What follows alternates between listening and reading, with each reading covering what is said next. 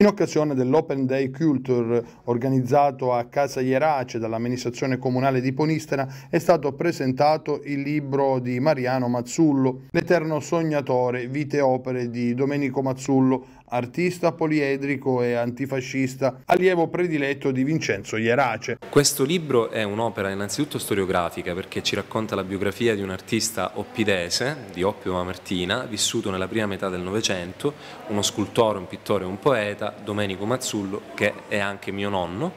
eh, che ha operato in tutta Italia appunto nella prima metà del Novecento e poi anche in parte della seconda perché morì nel 1981. Questa è la prima biografia um, su uh, Domenico Mazzullo che eh, colma un vuoto incredibile nella storia dell'arte perché è ricca, ricchissima di materiale inedito d'archivio, quindi un epistolario con i fratelli Ierace ma con anche i sottosegretari eh, dell'epoca, varie um, personalità del mondo proprio della cultura, vescovi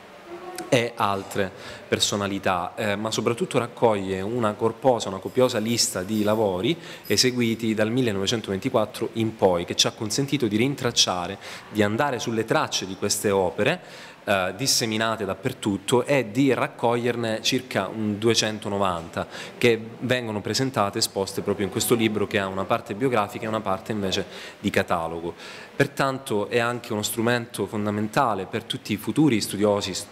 di storia dell'arte che vorranno mettersi sulle tracce di Domenico Mazzullo e rintracciare opere tuttora di ignota collocazione. Quindi non solo storiografia ma soprattutto è anche collezione d'arte, anche eh, recupero della, della, storia e della memoria eh, del nostro territorio.